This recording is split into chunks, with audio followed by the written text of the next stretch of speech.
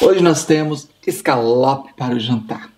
Essa receita é tão romântica como a que eu vou convidar você para nós juntinhos tomar um vinhozinho branco para aquecer a nossa noite, porque essa noite promete, comadre, ou se promete saúde. E a primeira coisa que nós vamos fazer, comadre, é temperar o nosso escalope. No meu caso, eu vou usar sal grosso com limãozinho, já está tudo pronto aqui. Coloco de um lado e do outro. E uma outra coisa bem importante que eu tenho que falar para você é você observar a textura do peixe, tá? Olha, eu deixei ele para descongelar tem umas 4 horas, ele está completamente descongelado, tá fresquinho. Nosso escalope já está temperadinho. Observe se você colocou a mesma quantidade de tempero dos dois lados, certo? Agora nós vamos fazer o seguinte, ó. Eu já vou aproveitar e vou ligar essa minha frigideira. E aqui, ó, eu tenho água que eu contei na, no, na receita de muqueca capixaba de uma forma especial que eu trato o camarão. Vou explicar aqui também para não haver dúvida. Agora, enquanto tudo aquece, vamos deixar o nosso escalope dar uma pequena marinada. Essa minha frigideira, ela é de ferro, tá? Mas você pode usar qualquer uma que você quer.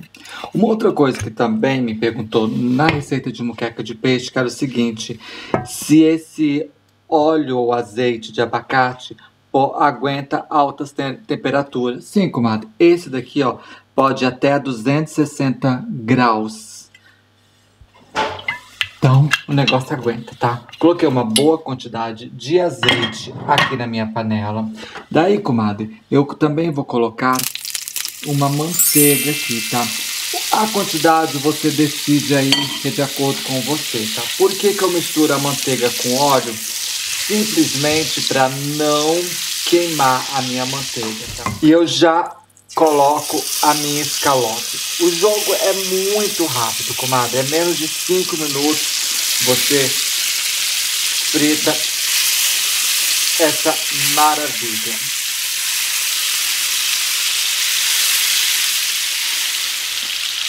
Saúde aí, comadre. Ó, dourou de um lado, a gente já vira. É jogo rápido, tá? Comadre, faça escalope em casa você vai amar. A gente já compra no mercado congeladinho. Procure um peixe de boa procedência, tá? E com certeza você vai acertar de cheio na sua escalope. Vou diminuir o fogo, porque eu não quero queimar essa minha gordura. Mais um pouquinho pro santo, porque eu falei que esse prato de hoje é um prato especial, comadre. A gente não pode deitar. Dourou dos dois lados, a gente já separa aqui, tá? Comadre, seguinte, como a minha frigideira é grande, eu tenho esse lado aqui, ó, que está sem nada. E pra gente adiantar essa receita, olha só, tá? acabei de espremer o nosso alho, tá? O alho é a gosto. Aqui eu tenho quatro dentinhos de alho, tá? Mas eu vou deixando aqui, ó, porque ele já vai dourando, já vai saborizando todo o nosso escalope. E a nossa água já está quase no ponto, tá? A gente mantém ela aqui, porque eu preciso que ela esteja fervendo para dar aquele efeito fantástico nosso. Enquanto isso, mais uma pro santo. Ô, comadre, saúde aí, mulher. Saúde. Rapidinho ela chega no ponto, comadre. Nosso alho já está dourando, daí eu vou colocar meio limão desse aqui, ó, siciliano, certo? Já deixo aqui, deixa eu tirar o restante do escalope aqui. Aquilo que eu falei, como a frigideira é grande, já dá para ir aproveitando tudinho isso aqui. Já misturo. Vou colocar aqui mais um pedacinho de manteiga. Olha que molho lindo que está ficando, comadre. Então nós temos aqui alho, manteiga, o nosso azeite. Agora vamos dar um chorinho do nosso vinho branco aqui, tá? Vai no olhômetro aí, um cálice, tá bom? Hoje é festa, comadre, hoje é felicidade. Enquanto o nosso vinho está apurando, eu observei que a minha água aqui, ó, já está fervendo. E aí o que eu faço, comadre? Eu pego o meu camarão que está congelado, vegeta.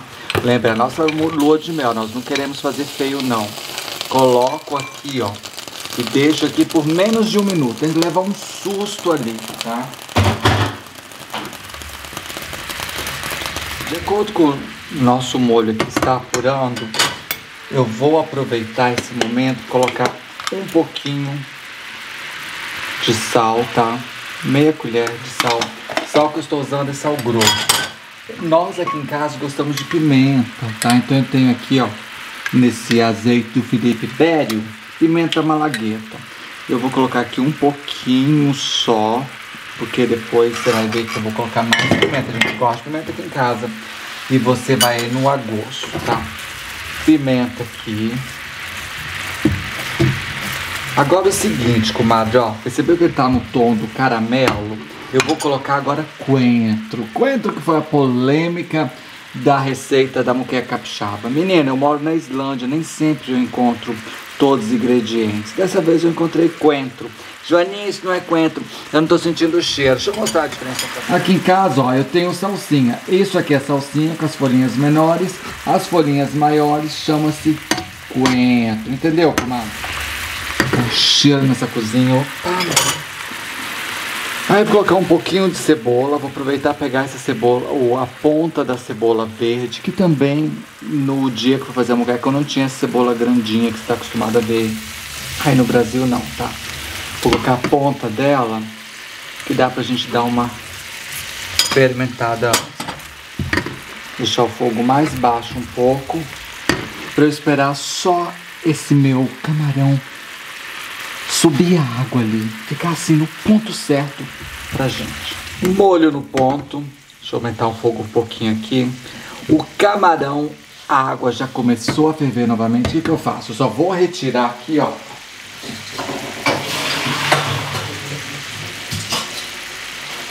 A água dele, ó. Viu? Retirei, coei direitinho. O que, que eu faço? Jogo o camarão aqui. Com o fogo mais forte, eu vou dar uma pequena misturada aqui, ó. Isso aqui, ó. Isso aqui mesmo. Aí, ó. Eu venho mais com o meu coentro. Coentro, não é salsinha. Preste atenção aí. Mais cebolinha verde no ponto. Eu cortei ela tamanhos mais grossos para dar uma pequena mexida aqui esse é o momento para a gente experimentar o nosso molho. Saber se tudo aqui está no certo. Vamos experimentar junto o camarãozinho? O camarão já está cozido, tá? Esse é o segredo de você não deixar o seu camarão borrachudo. Hum. Não, espera aí. Deixa eu te mostrar como eu vou montar a nossa noite romântica. Seguinte, comadre. Você coloca as suas escalopes aqui toda bonitinha, assim, ó arruma direitinho, porque hoje é uma noite especial com seu boy, tá? Daí você vai de acordo com, com aquele momento assim. O camarãozinho, você pode fazer o seguinte: você pode colocar em cima assim, ou de lado. Agora, o interessante é você colocar o molho, porque esse molho aqui ele vai dar um sabor todo diferente para o seu escalope, tá? Não esquece disso não. Aí, menina, você vai pegar aquela pimentinha que você tem assim, babadeira, colocar no cantinho assim do prato. Comadre, agora deixa eu te contar uma coisa. Nós estamos aqui em casa e naquela dietinha low carb, tá? Nada muito a sério, não. Então a gente vai ter que acrescentar umas gorduras aqui que você vai aí, ó, de acordo com o seu paladar. Deve colocar algumas fatias de abacate aqui no cantinho, tá? Para trazer uma cor pro prato, um tomatinho. Tomatinho vai bem, né? Aí, menina, para ficar a coisa mais assim, instigante, Vamos colocar uns aspargos bem grande, bem robusto, assim, ó. Olha que grossos esses aspargos. Estamos em lua de mel, comadre. A gente tem que estar tá inspiradíssima, certo? Aí, mulher, como eu não estou satisfeita, vou colocar uns queijinhos aqui, ó, que eu fritei. Daí, menina, você usa a sua inspiração. Essa escalope aqui vai muito bem com arrozinho, com purê de abóbora, enfim, com aquilo que você achar que é interessante. Até com aquele nosso querido zoião cozido. E ó que prato bonito. Olha isso, mulher. Olha isso que maravilha! Não esquece ó, de clicar em gostei, de comentar, de participar, porque a sua Joaninha tem vídeos aqui ó, todos os dias, de segunda a segunda, feito com o maior amor e carinho para você. Agora é o seguinte, se você fizer isso, ó, tira uma foto, me marca lá no Instagram, porque eu venho aqui, ó, vou lá e corto a sua foto e vou saber que você gostou. E quando eu sei que você gosta dessa maravilha que eu fiz aqui, eu venho trago outro para você, e o prato de hoje foi escalope para sua lua de mel. Um beijo grande e até amanhã. Fui!